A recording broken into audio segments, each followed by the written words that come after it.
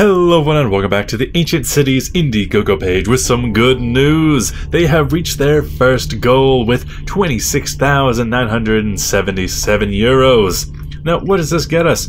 The Neolithic Middle East has been unlocked. Yes, this means that all Kickstarter and Indiegogo backers with unlocked expansions reward will get this one too when available. Neolithic Middle East will explore the true origins of cities and Neolithic Revolution, the place and time where the civilization as we know it sparked for the first time.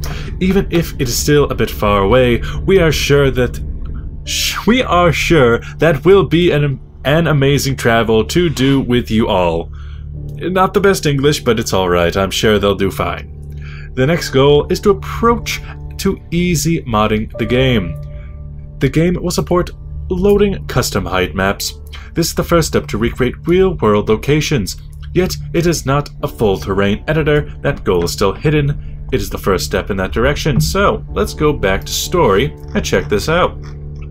So we got Neolithic Atlantic, we got Ice Age, we got the Fluid Dynamics, the DRM free platform, Neolithic Middle East just unlocked. Next at 30,000 euros will be the user terrain, then more biomes for Europe at 50,000, rent a small office for the developers at 70,000, 80,000 sea and coastal cities, improving fluids and depict seas with waves and tides that will let you bring to the game gorgeous coastal cities. I would love to see that.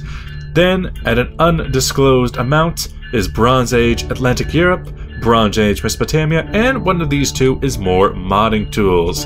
That is great. I am glad this is still going. This back has still has 21 days left, and they have a flexible goal.